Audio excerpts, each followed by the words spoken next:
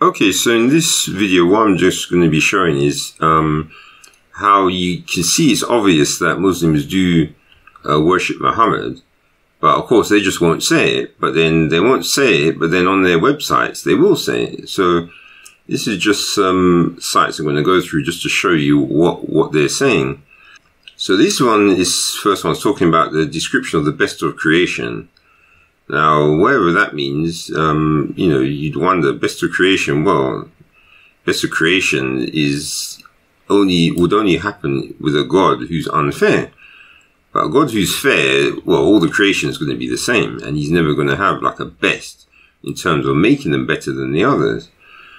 And so this one says, well, it says, imagining the beloved descriptions of the best of creation, and he said that to no person, so, yeah. It says Muslims are obliged to love the messenger of Allah more than even their own selves.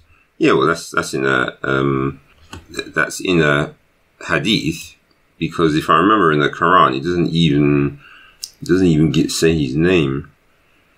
And so we've got descriptions here. So what they, it's like what they're saying is that if you look nice, then that means you're better than someone who is deemed as not looking nice. So this is according to Muslims. So well, you could say that's a bit of racism there.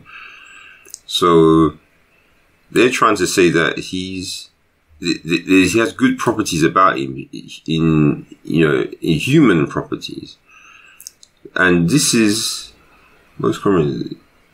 So what, what I'm just going to show you because it's probably easier if you just read these sites yourself. But I just want to show that they're here because a lot of them take a while to read through. And obviously this site is about trying to get your money, as you can obviously see. But I'd say this is the important one because obviously IslamQA is a authoritative site. And whatever they say, this is what scholars agree with. And so here it says, is there any evidence that our Prophet Muhammad is the best of creation?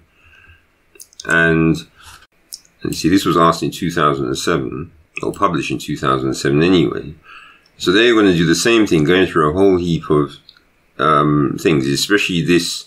Yeah, see, this is from Sahih Muslim, and it's interesting that he says, "I will be the leader of the sons of Adam on the day of resurrection." Okay, so that's his claim, but notice he's not saying that um, Allah has made it known. He's just said that I'm going to be, almost like he's thinking it up himself. But this is what I don't get. It says See, when you read this hadith, this one in Sahih Muslim, I'll be the leader of Sons of and the first one of whom the grave is open, and the first one to intercede, and the first one whose intercession will be accepted. Right, okay. So he just made a statement there, because he's trying to be like Jesus, obviously. And then the scholar says this hadith indicates that he is superior to all creation. Okay. Because the view of Al Sunnah is that humans are better than the angels and he is the best of all humans and others. End quote. Right. So they're saying these are the scholars who they're going to now quote is um that's the Shafi, um Al Razak Al Musnaf.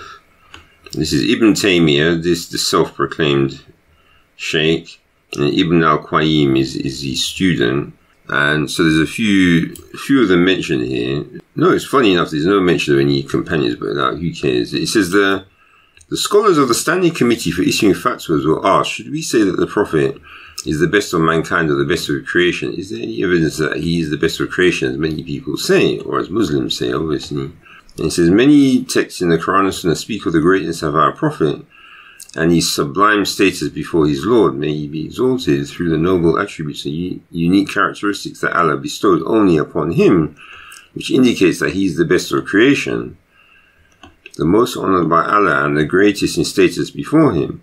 But you'd have to question that because isn't Isa, Isa's able to raise the dead and to create life, so I'd, status wise, Isa is greater in terms of what, what he can do.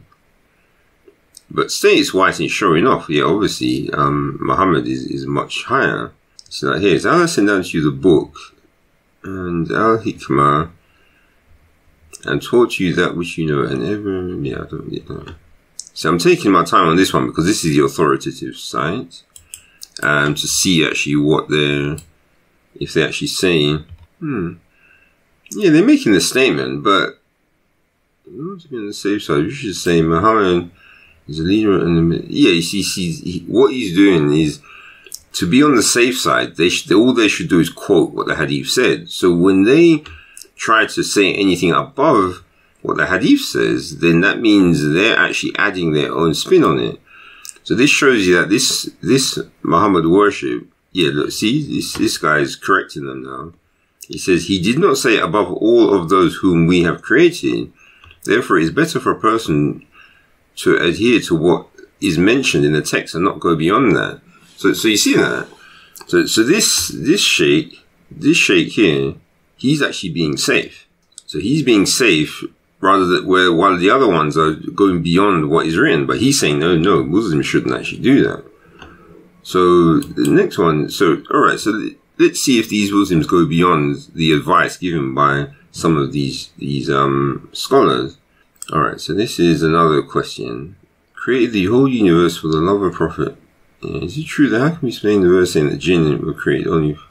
All right, so you see this hadith. This isn't one of the Bukhari Muslims hadith. It's um this is Al Hakim in Al Mustadrak and by Al Bayhaqi in Dala'il al Nubuwwah.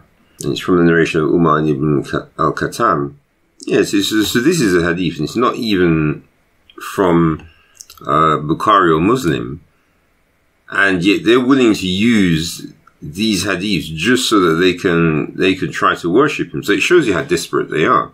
And See, yeah, it's talking about the same uh, same hadith again, because what he's trying to do, is he's trying to get around the fact that it's the um.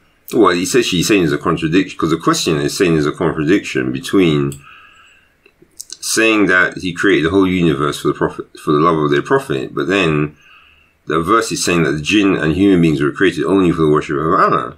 Yeah, not not their prophet. And of course, now this page is going to go into this long explanation to, to try to bend it around so that it's still okay to, um, to, to worship him.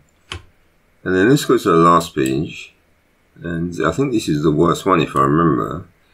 Because they want you to give money to some sheikh, you know, I don't know why. Create your light in the light of your prophet that night. Rest in yeah, see, look, yeah, this, this, this site is bad. All creation is from the light of Prophet Muhammad. So this is using, and I don't even know what, um, no, someone might say this is a Shia site, maybe it is, because I, I can't really tell. Yeah, I think these might, this Nur Muhammad, I think these guys, obviously they're Muslims, but it looks to me like these are some different guys because they're not quoting this is how you can kind of tell. If you look on the site and they're not quoting Sunni scholars, then that means there's something else. Because the main ones they're supposed to quote are obviously uh, Hanafi, Shafi, Maliki, and Hanbali. So if you don't see those names quoted, that means they're, it's most likely that they're not um, Sunnis. And the fact that they're wearing these white hats. Yeah, so, so, so these guys are obviously Muslims, but they they're using their own writings, and this is the thing: is that so? What it really comes down to, as far as I can see, is that they do worship him, and some will say it more than others, but what they'll do is they'll if you if you try to ask a Muslim directly, they'll give you a clever answer, or most of them will just go by what this sheikh at the bottom has said here. So, so this, this, any, any Muslim which will try to avoid saying that they worship him will just go by this statement. But then the ones who do want to worship him, they'll just look for something else. Because obviously these, these guys do want to say that he's the greatest of creation. While some of these guys do, but this guy is being safe. So what it comes down to is that when you say this to a Muslim, it really just depends on what they want it. Yeah, yeah, if, if it's a proper brainwash one, then they'll have their excuses for why he's the best of creation. And if it's one who's playing it safe, like this this guy down here, then they'll just say no. What it says is just it's just what the hadith says, and that's all they're going to go by.